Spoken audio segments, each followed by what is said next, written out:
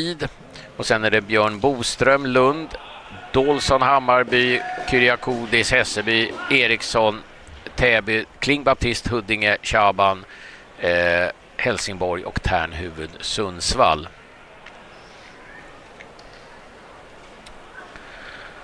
Dolson och Kling Baptist, bana 3 och bana 6 vann sina försökshit.